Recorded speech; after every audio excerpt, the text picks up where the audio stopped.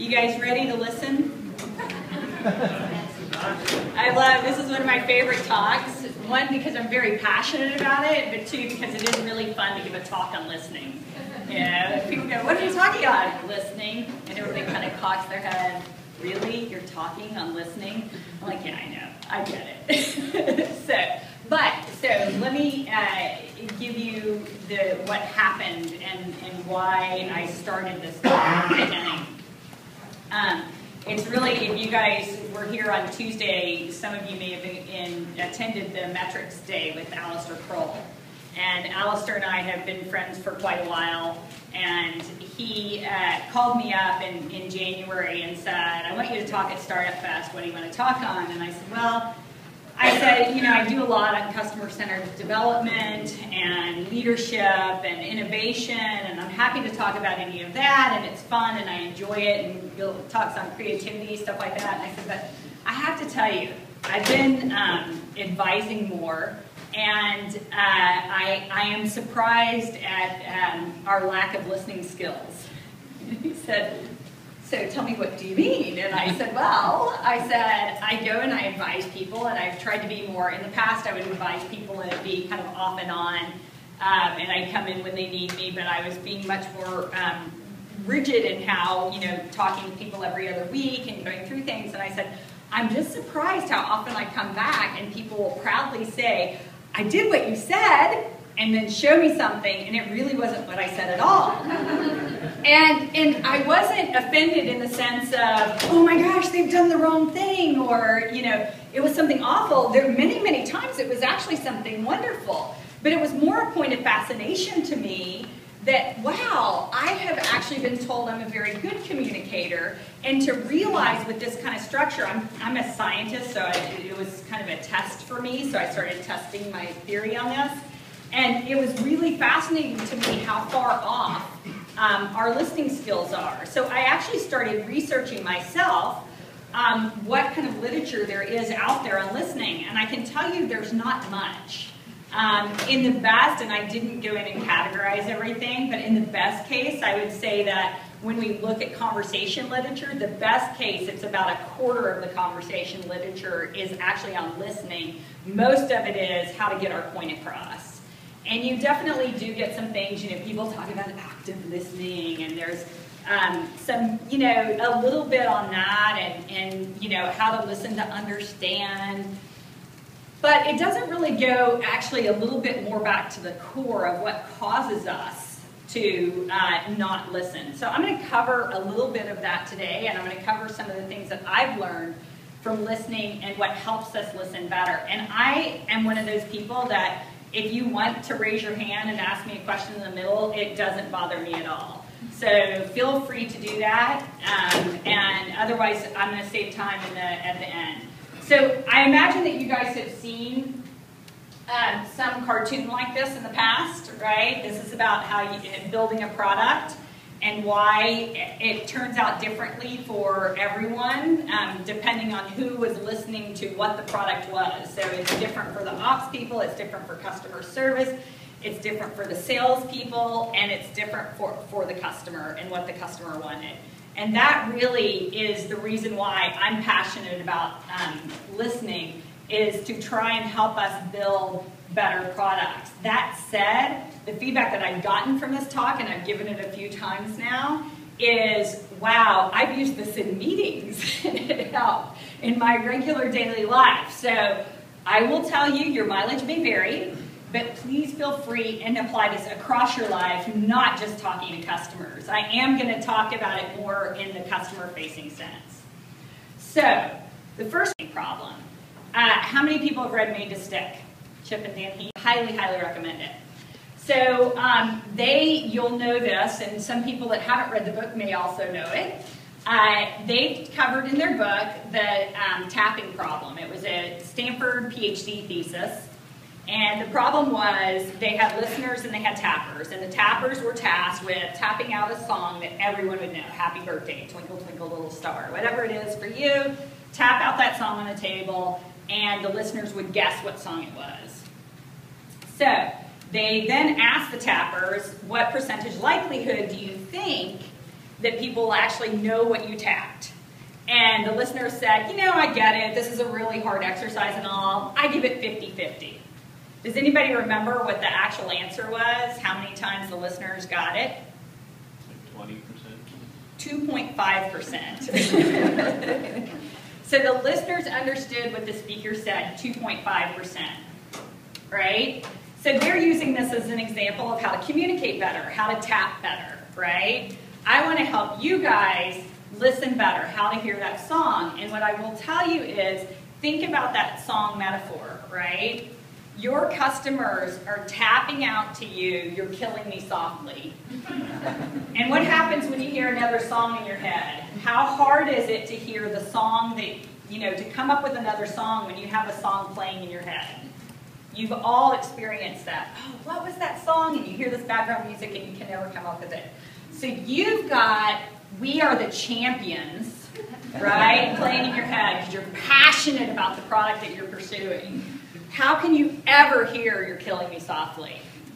You can't. So I want to give you some tools to help drown out that music of your product in your head so that you can actually hear what customers are saying and respond to that.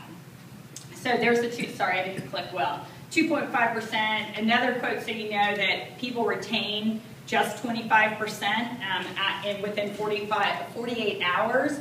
So I'll give you some tips on that too, on how to uh, retain that. I do think, I will say that um, because you're not usually going in blind when you're talking to a customer, you usually have some contacts. I actually think we do better in general than 2.5%, but that's a pretty low bar. So um, let's build some ear muscle together. It was fun finding pictures about ear muscle. Um, but these are actually, this is a Native American Eskimo um, Olympics, and they actually do have an ear pulling champion. So I know. Aren't you glad you're not them? we won't do that. So one of the first things that I used to do, uh, so I um, founded Intuit's corporate innovation lab many years ago. And I, as we talked about it, one of the things we would say in the lab is, you know, pretend you're from Missouri. Be from the show me state. And you guys may have heard things like that. Always ask, well, show me that you do that because people lie about what they do and they don't actually do it. And, and they say, oh, I log in every day. And then you go, oh, cool, can you show me that? And then they're like, oh, I don't remember my password. And you're thinking, well, if you log in every day, you probably do remember your password, so likely you don't actually log in every day, right? So what I've learned as I've gone through all of this is um, it's actually different. The show me state is different because the show me state is almost a challenge. It's like, oh, now you have to prove it to me. And where I want you guys to go is a curiosity state. So you've got to have that, that you know, New York um, on the state is a state of mind. Um, I want you to go to that curiosity state of mind. And what curiosity does is Steve Jobs was described as being hyper curious, and it's one of the reasons that people claim he was successful. Um, I believe that. Um, people have said uh, that uh, Alan Krug, who, Aaron Klug, who is a Nobel Prize laureate, he actually said that curiosity was his secret weapon because every time something didn't work, he was curious why didn't it work, and that's what led him to the solution.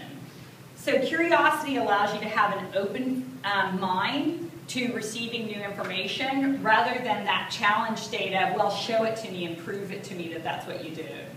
Curiosity is, you know, if someone says, well, I log on every morning. Oh, wow, really? You know, why do you log on every morning? What's important about that, right? And then you start going into it, you can still ask them to show you that, but you approach it from a very different perspective. So I'd like you, you know, if you remember, walk out of here with one thing, remember to approach it with curiosity. Curiosity is going to open your mind to possibilities, whereas show me or other techniques are not going to do that. So that's the first tip. Now, um, I'm going to stage this kind of in, in uh, customer segment. That's the biggest one that works in every um, part of a customer visit. Like I said, it doesn't just apply to customer visits. But specifically before your customer visit, I'm going to ask you to give your brain context. And you guys have seen these um, pictures before in the past, right? They're all about perspective. And your brain also not only has a visual perspective, it ha also has an auditory perspective. And Anthony is going to help me out by uh, launching one. So listen to, to this. So what you'll hear is a sentence, a spoken sentence, that's been transformed by a computer to sound like gibberish. So, any idea what they say? No. Okay, uh, you can hear it one more time. Okay, now we'll hear the real sentence. The Constitution Center is at the next stop. Does it make sense that time? Yeah, wait, was that the It's same? the exact same sentence that you heard the first time. No way. The exact same sentence. Your brain is always using prior information to make sense of new information coming in. So once you know what the sentence is, when you go back and hear the distorted version, you can apply that information and it makes sense. So what you'll hear is a sentence, a spoken sentence, that's been transformed by a computer to sound like gibberish. So Thank you, Anthony. So the, the clicker wasn't working on it, so we went the, the manual way. Um, so, so the point there is, of course, get some context on your client. Understand, are you going to see the finance person? What is the type of company that's there? Anything that you can do to give your brain some of that context will help you translate from gibberish, right, what you just heard, into something real and actual and help you understand. So approach it with curiosity and then give yourself some, some, um, some context. And that context, the cool thing about that is it will also encourage your curiosity because you'll start thinking, wow, I wonder if I was that person, how I would approach that. So they feed on each other. So the next uh, exercise that I have for you is two, you've heard the saying you have two ears and one mouth, use them in proportion that way, right? So this is a learning that we had at Intuit. Um, when we started the lab, we went out on a lot of the customer visits. Intuit's famous for their follow me homes. And uh, so we went out and we just started doing follow me homes. It's actually um, started by Scott Cook. Was he believed in it from his work at P&G.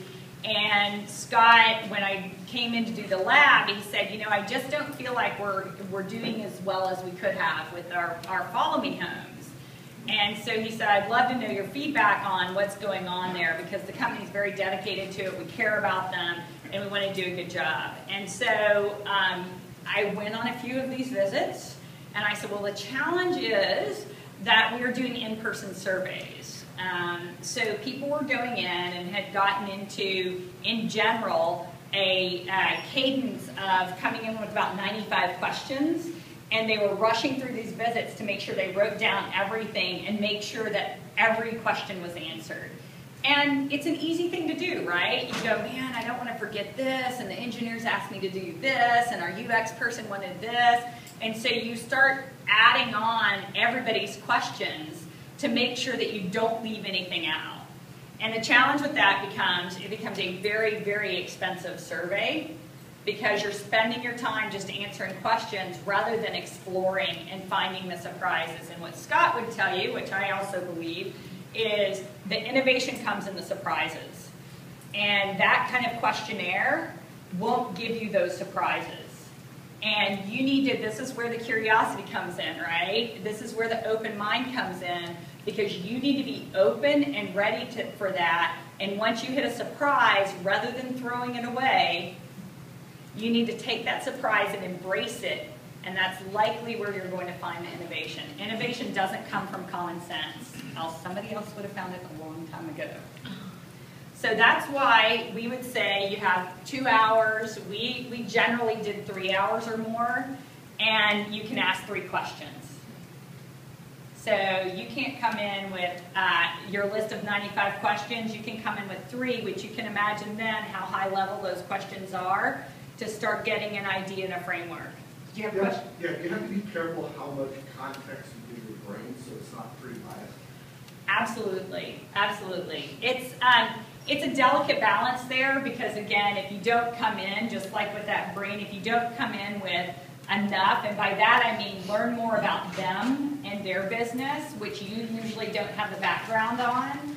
Um, so you're likely not going to become an expert in, um, you know, assembling kits or something like that. So that's the level. I think that's a great point. Is the level? Think about it at the at the three question level too. Don't go and read eight papers by them, but do go in and understand who I'm coming in to talk to, what kind of business they're in, what role that they're in, what their background is, so that you have some context. And again, it's not to form um, biased opinions on that. It's really to give your, your brain some context so you can see that different perspective. Um, the next thing before your visit that I always recommend is pause. If you know how to meditate, I actually would recommend that. So you get there, you're rushed, you're checking um, your phone, and you're saying, oh, I got this email and all of this, and you start putting a lot of things into your brain which don't allow you to listen. So get there 10 minutes early, sit in your car. You know how to meditate, do it because that helps you open your mind to new things. But even if you don't, pause. Take some time to clear your mind. Don't even think about the customer visit. Don't worry about the questions you're going to ask. Clear your mind.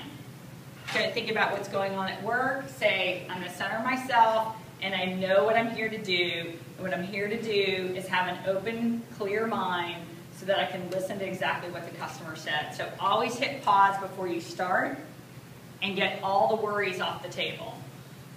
So during your chat with the customer, also, when I mention this, I talk about, you know, when you get to the customer, this can happen before if you're on the phone with them. So don't get too tied up in, this is the, like I said, I'm, I'm used to doing the follow me homes because I'm an intuitive person um, in my heart and in my soul.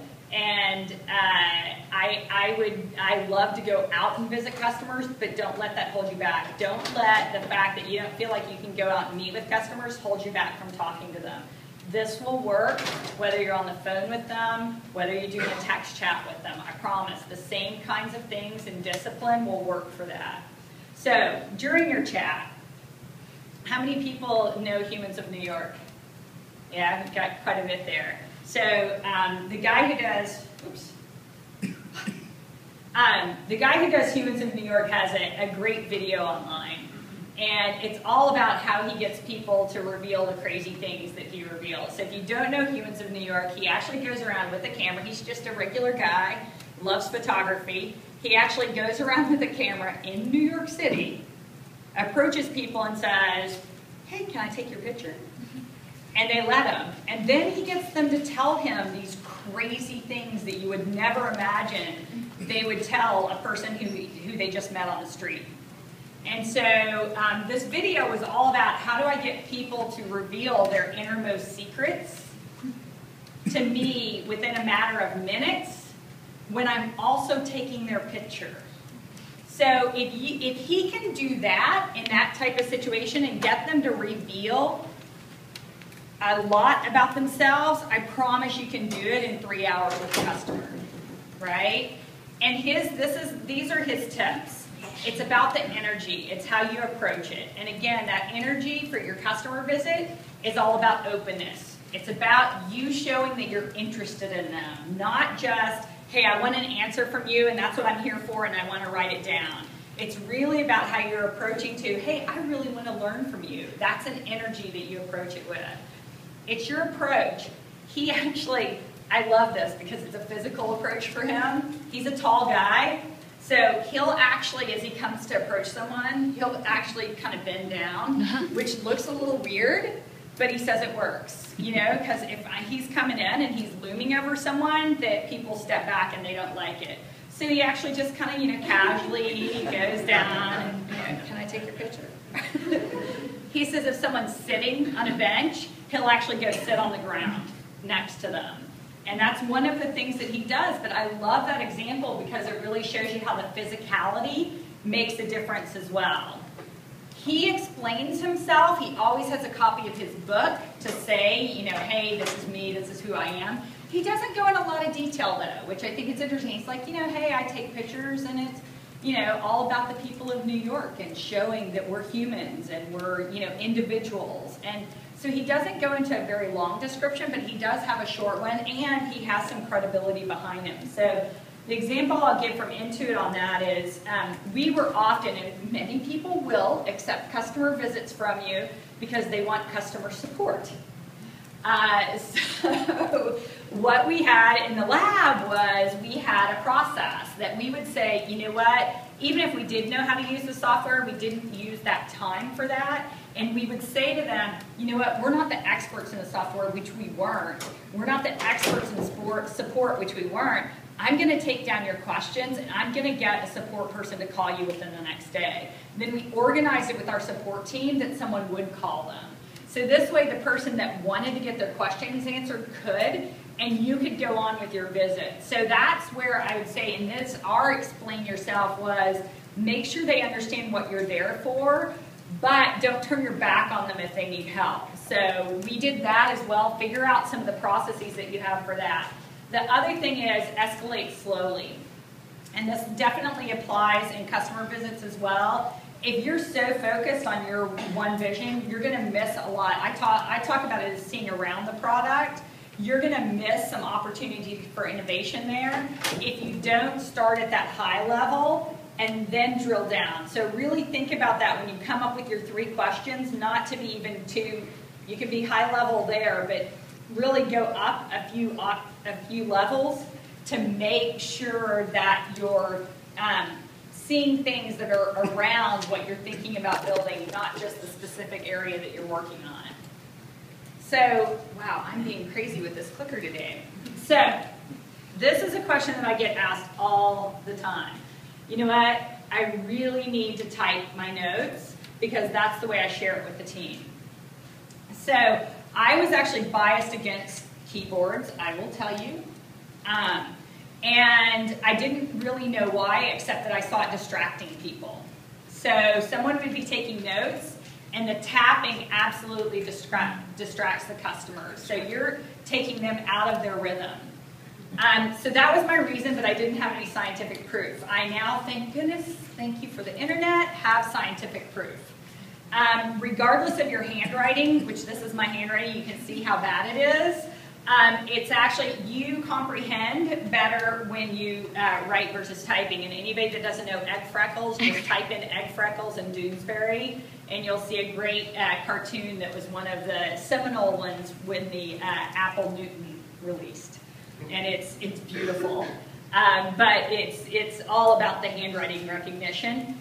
So the studies show that um, you actually comprehend and remember both better if you write rather than type. That's regardless of whether you actually go back and study your notes in either case. So they've gone through, and this has actually been extensively tested now, um, and it was done with students and their learning capabilities, and what they learned is that they always perform better both on comprehending and the belief is there's two things that trigger it because they actually went back and tested. They told the people that were typing not to type verbatim. Um, so that was one of the things that they learned is that uh, people who are writing out would, would um, summarize points better, and that's how the comprehension was higher. Um, and, and they understood it because they had to do that mental uh, um, gymnastics to actually understand it better. But even when they told the people that were typing to do that same thing, like don't type verbatim, summarize the notes as you're typing, um, there's something with the physicality of writing it out in your brain and how your brain stores information. They don't actually know that yet, what it is, but um, they have proven it in repeated results. I'm assuming that doesn't apply to people with dysgraphia for whom typing is actually a faster way to absorb Absolutely. I mean, if you have, this was testing folks that, that knew, um, that were able to, had the capabilities. Uh, so if you can't, if there's some reason that you can't type, I wouldn't say that illegible handwriting is a reason not to write though. That's the one that uh, people most often use. No one can understand my handwriting.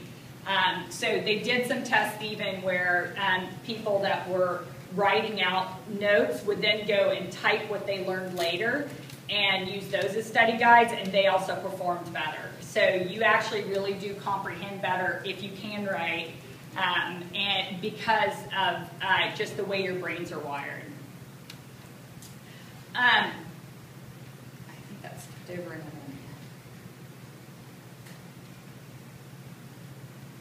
Are we? I'm. I'm frozen, Anthony. Oh, there we go. Okay. There we go. Um, so, your brain, we speak, the fastest speakers speak about 125 words per minute, and uh, your brain can process at over 400 words per minute. So when we sit there and think, oh my gosh, I'm distracted, gosh, I can't pay attention, I've got so much going on, it's actually because um, there's no way that a speaker can speak as fast as uh, you can understand. So your brain is like a cheetah, and our speaking ability is like Usain Bolt, who's very fast, but he's not as fast as a cheetah, right? So there's things that you can do to help um, help your cheetah brain stay engaged rather than going off to other topics when the speaker speaks slowly. And I speak more slowly than most because I'm from the South. So uh, tips that they have for people, predict the next points um, that the speaker's going to say. And it's not that you're right or wrong, it's because you're really thinking and engaging in the information. Note supporting points. Gosh, when she said that it was a cheetah brain, what things did she say to support that? Well, gosh, she gave us this information that we can process it at 400, over 400 words per minute, right? So, so write some of that down so that you're organizing the, the supporting points and you actually start to know and learn better. Give your mind something to do that's in context of the um, actual visit. So the next thing, and you guys got a preview of this because I can't click correctly, um, boomerang your brain. So you're going to get distracted because I just told you how much faster our brains process than you can than we can speak.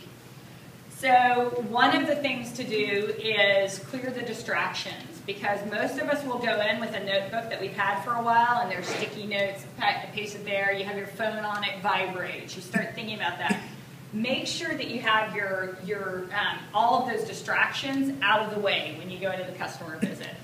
Even little things that you wouldn't think of, you'll notice them and your brain will take off for that because it's looking for anything to do that.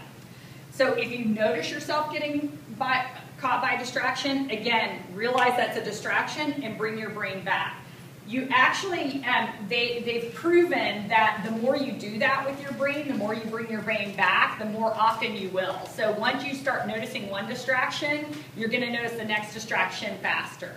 So really train your brain to pick up on those, and you'll get much better at coming back. Find visual cues. So if it's something about the person who's talking and you feel yourself getting distracted, go back to the tie that they have on or the sweater and and always go back to that. So this was a, a, result that they did in some testing with driving, that even people who uh, would get, you know, they were on long haul driving trips, they would actually just tie a string around the top of the steering wheel, and when they felt themselves getting distracted, they would look back at the string, and that helped their attention span, and to stay focused on the, the manner, the matter of driving. Um, I said play a game, and I was going through this talk with Chip Heath, uh, and I, I was asking him for feedback on it, and he said you shouldn't play. I, I was suggesting buzzword bingo, uh, so that uh, as you know, people said things. Well, do buzzword bingo, and he said actually don't do that because um, he said it's that's a complex process to do something like buzzword bingo and he said that you would that would actually distract you too much. So I put that in there so that you guys know when you think about things like that, come up with something simple, like the string on the steering wheel. So keep that simple. Anytime you're having a problem, feel free to take a break. And we would do this all the time. You know, you find yourself starting to nod off and you've tried to bring yourself back several times and you're not. It's like, hey, cool, can we go see that warehouse you talked about? you know, what what was in, you know, when we walked in, we saw that room over there and it seemed like some people, what were they doing? Get up and walk around. Your brain really responds well to physical activity.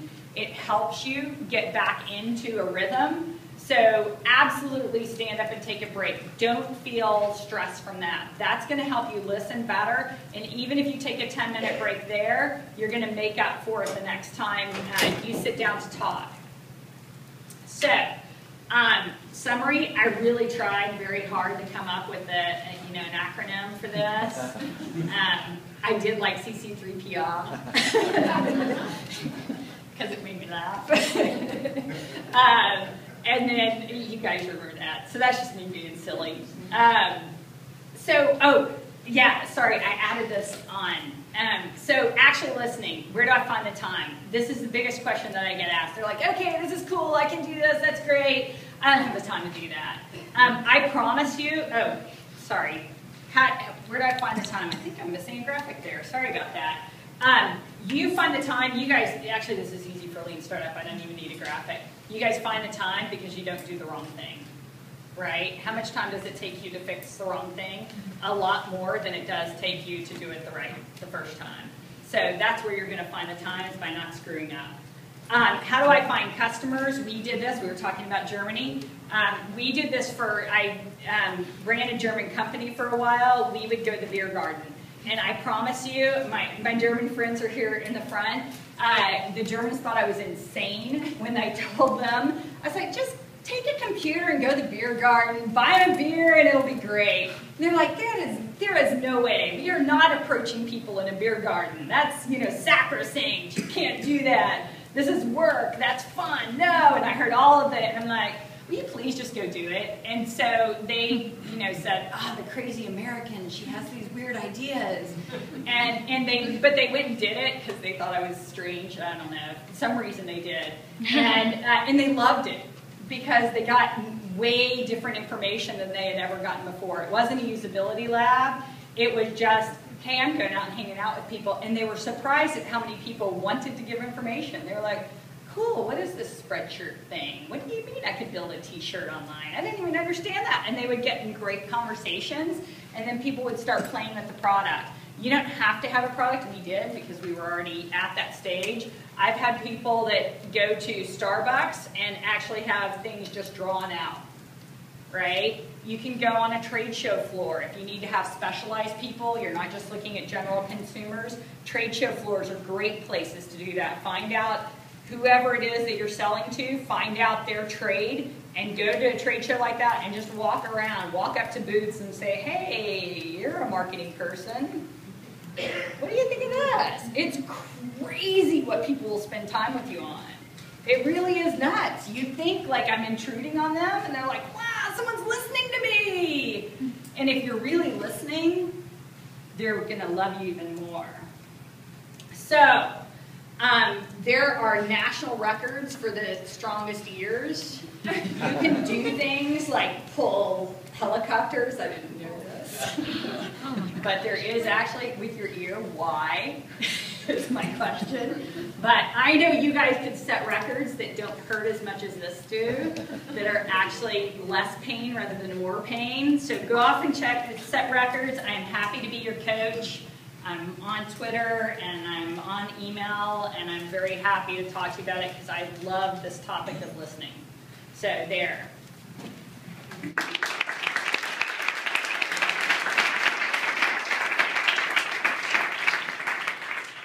Yes. Uh, one of the things that you didn't mention was during the conversation, paraphrasing them. These the old things you used to hear about. Are you really listening? Paraphrase what they said, or maybe asking, them not leading, asking questions about what they said, things like that. Yeah, I, I would ask them questions rather than paraphrasing. And, and people, um, it's a bias thing. People will more normally say, yeah, that's close enough, and you don't want close enough. You want so so asking questions and those open-ended questions tends to be better than just repeating back what they're saying. So and questions are great. I mean, it's not you know pausing is really good too. A lot of people pausing allows you to process what they were think what they were saying and think about those notes that you were taking, and then ask a question from that right. is usually a great idea.